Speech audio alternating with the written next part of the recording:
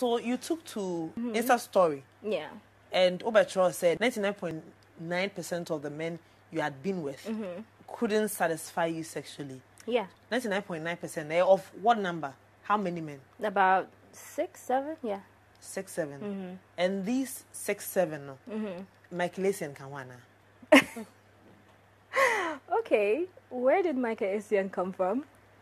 Yeah, because he, you were publicly Wow. kissing him and stuff at Cheske's pub Wow. not so long ago. I wasn't kissing him. You were kissing him.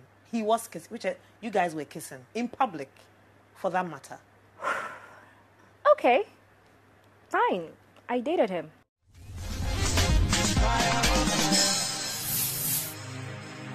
Fire, oh fire.